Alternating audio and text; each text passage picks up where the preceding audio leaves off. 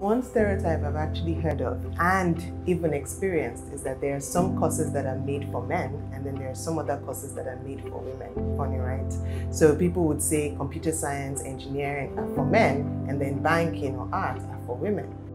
That you can be a successful career woman and a mother at the same time. You have to do everything, that you have to try and be good at everything. You work hard, work long hours, go home, you cook. If you have children, you'll take care of them. And just essentially, we need to be super women.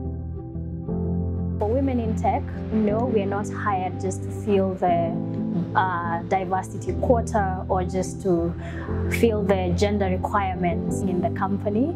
We're hired because we're skilled, we're capable, and we bring a lot to the table.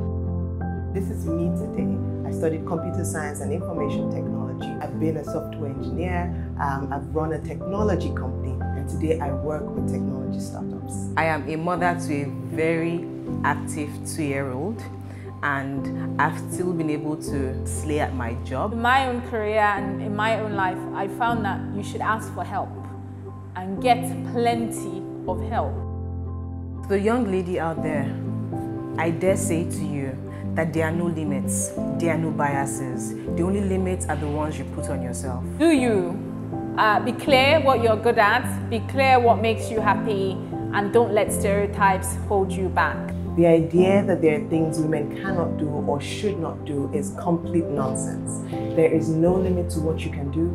There is no limit to what you can achieve. If you can dream it, if you believe it, you can do it.